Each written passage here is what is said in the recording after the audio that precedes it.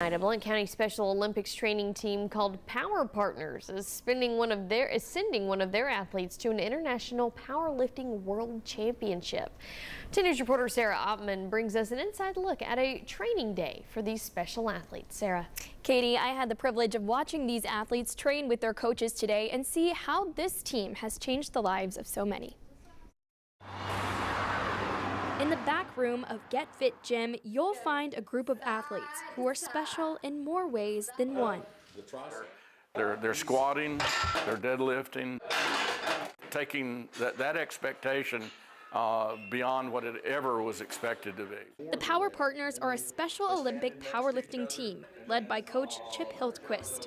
This is a way we can provide a partner to um, support the athlete, and, and actually we lift with the athlete, compete with the athletes as partners. So. And one power partner is heading abroad to compete in the Powerlifting Federation World Championship. Down, down, down. We're, we're expecting Brad to do some really big things. Brad Davis has been a Special Olympic athlete for over eight years in both skiing and powerlifting. We, we met Chip, and he introduced Brad to the, uh, the, the sport of powerlifting, and clearly and immediately it was a perfect fit.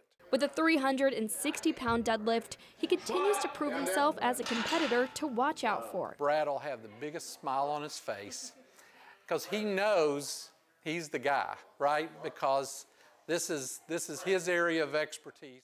Brad and his fellow teammates have found a home in the Power Partners, and they're stronger because of it. We see them getting stronger, um, more confident, building muscle, and they're excited about coming in here. One, two, three. All right. Brad will be competing in that championship in Iceland on November 15th. The Power Partners are having a pizza and pasta dinner benefit to raise money. You can find out more on how to support them on our website. Katie. Sarah, thank you so much for that sweet story.